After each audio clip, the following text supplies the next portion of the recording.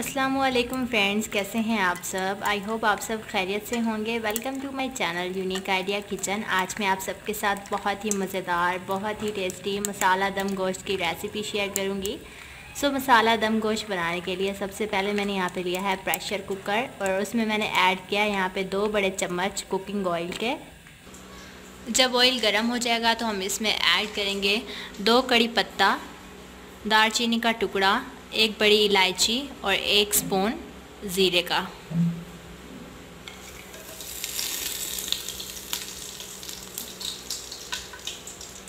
और इसके साथ ही हम ऐड कर देंगे तीन बारीक कटी हुई प्याज।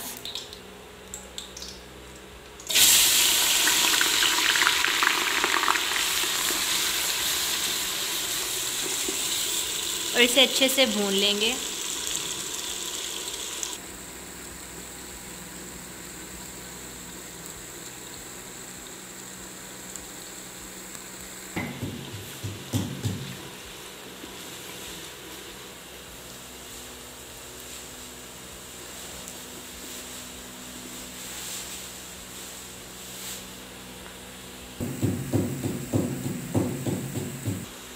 प्याज बहुत अच्छे से फ्राई हो चुके हैं। अब हम इसमें ऐड करेंगे दो चम्मच अदरक और लहसुन का पेस्ट।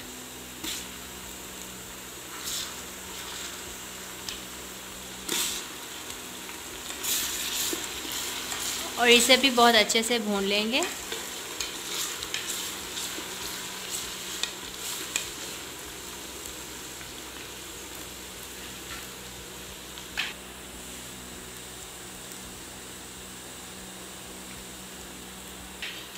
तकरीबन एक मिनट अदरक और लहसुन का पेस्ट भूनने के बाद अब हम इसमें डालेंगे चार टमाटर।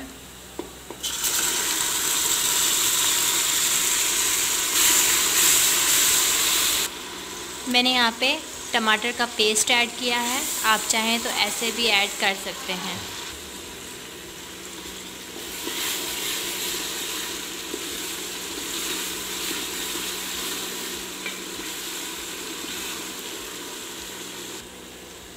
दो मिनट मसाले को पकाने के बाद अब हम इसमें ऐड करेंगे गोश्त।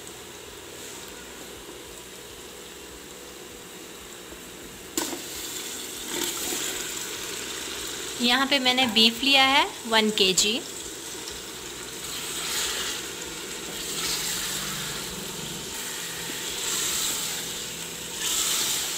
अब हम इसे अच्छे से भून लेंगे।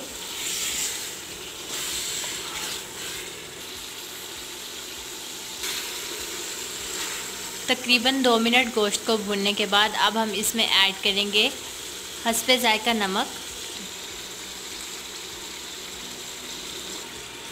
एक चम्मच लाल मिर्च का पाउडर।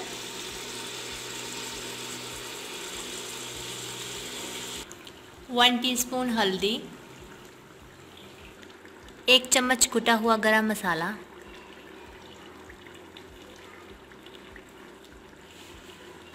अब हम यहाँ पे ऐड करेंगे दो सब्ज़ी, इलायची का पाउडर और थोड़े से सौंफ का और खुश्क धनिए का पाउडर तकरीबन सारे मिलाकर एक चम्मच है। एक चम्मच कुटी हुई हरी मिर्च।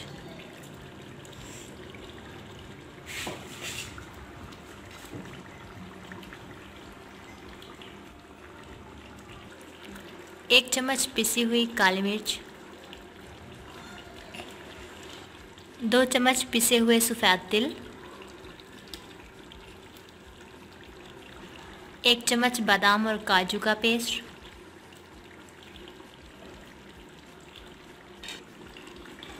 अब हम गोश्त को मज़ीद पाँच मिनट के लिए भून लेंगे।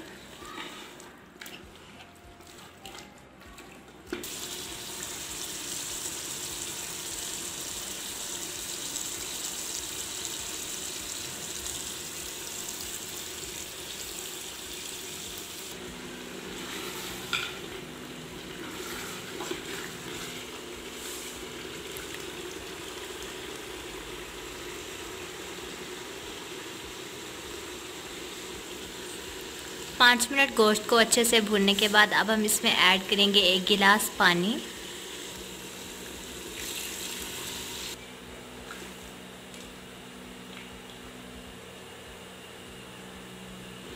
अब हम प्रेशर कुकर को 8 से 10 मिनट तक कवर कर लेंगे ताकि हमारा गोश्त बहुत अच्छे से गल के सॉफ्ट हो जाए।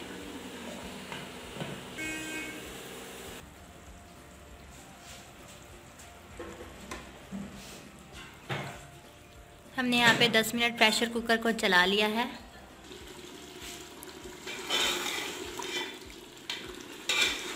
दस मिनट कवर करने के बाद अब हम इसमें ऐड करेंगे एक प्याली दही।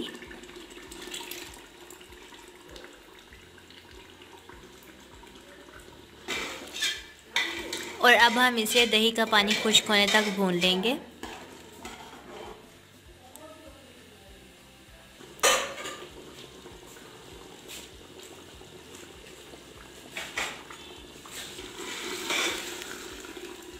तकरीबन आठ से दस मिनट पकाने के बाद हम, हमारा बहुत ही मज़ेदार, बहुत ही टेस्टी मसाला दम गोश्त रेडी है। अब हम इसे गरम गरम डिश आउट करते हैं।